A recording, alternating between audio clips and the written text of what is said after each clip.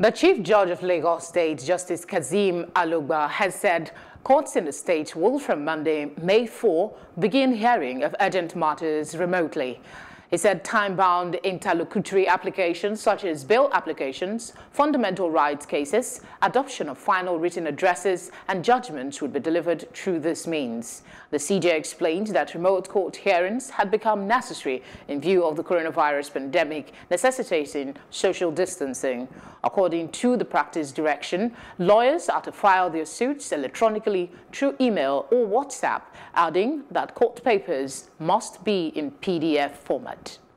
We're now being joined by an analyst, Barrister Stanley Imhanruor. Thank you very much for joining us. Thank you for having me.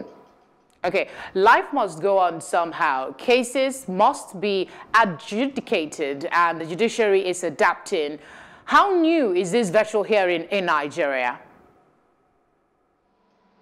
Yes, uh, it's new, as it were. Uh, you, if you followed the news yesterday, you would have observed that uh, the Borno State uh, judiciary uh, credited itself as the first uh, system that has launched online uh, hearing of cases in our court.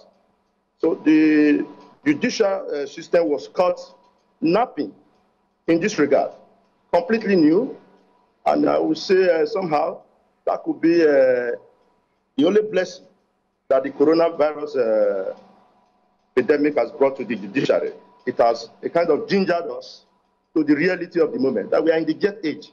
We can't afford to remain analog. What the judicial system the... is, literally shut down. Okay, what are some of the instant benefits, aside the trying of cases that come to your mind with this virtual court? Very well. As now, with this uh, virtual hearing. You could be in Lagos, and your matter will be called in Abuja. You, you, do your case straight away. You can imagine someone will have to book a flight to Abuja or Kano, any part of the country, just to adopt uh, a final written address or uh, your, your appeal, your brief. By the time you get there, before you speak for maybe uh, two minutes, you are told that it's okay, everything is in, your, in your, written address or in your brief. There is no point uh, deliberating, there is no time.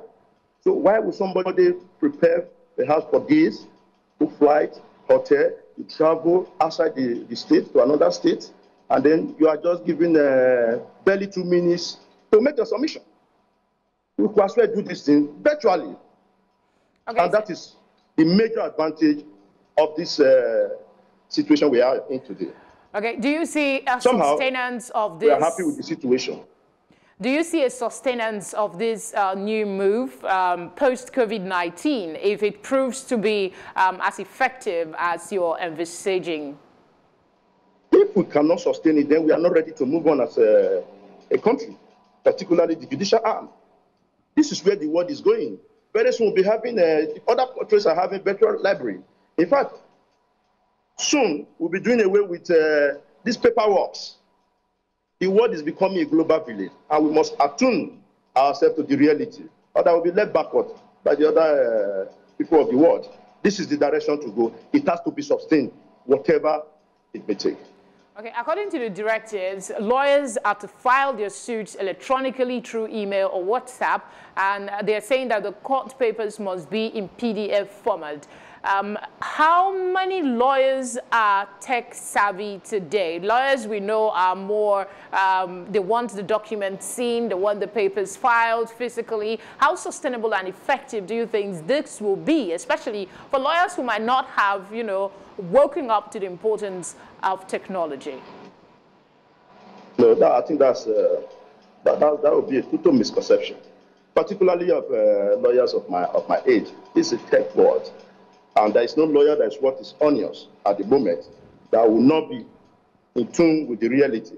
Well, you may say uh, for old lawyers, those who have been in the system who are used to analog things, but for lawyer of this generation, my generation, this is a welcome development. And I'm sure the older lawyers who may not be tech savvy, uh, savvy we we keen and uh, flow with the tide because this is the way to go.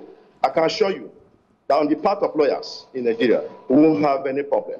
The problem would be whether the various judicial uh, uh, organs will be able to provide the necessary facility. For example, in Lagos, you know, 60% of education across the country take place in this, uh, in this, in this state. So once the system is open by Monday, you will see a floodgate of uh, application online. I want to believe that the Lagos uh, judiciary has solid system in place to accommodate the influx of application online. For what? lawyers, okay, we are good to go. Finish your thought. Okay. Now, what kinds of cases would be effectively addressed using these uh, virtual means? But this, uh, there, there, are bound to be some teething problems here and there. And if you look at the Lagos uh, practice uh, direction, it was very specific on the nature of uh, applications that could be take, taken uh, in this manner. That is because they are still testing the ground. But with time, they will put in the necessary facility so that virtually everything regarding court proceeding could be done from the comfort of your office and then goes on. So for now, limited to urgent applications that are time-bound, like uh, fundamental right uh, cases, bail application, and of course, uh, you have adoption of uh, uh, final addresses, and promotions that are not contentious. Trials are clearly excluded because of the rigorous nature of trial. But I want to assure you that once they're able to put in place the necessary facilities, trial will be included, and uh, it will be a, a, very good drive for the judiciary in this All country. Right, Certainly, this much. is the way to go. We Thank can't afford to remain analog. All right. I'm sorry to keep interrupting you, but thank you very much for sharing uh, your thoughts and your time with us. Thank you, Felicity.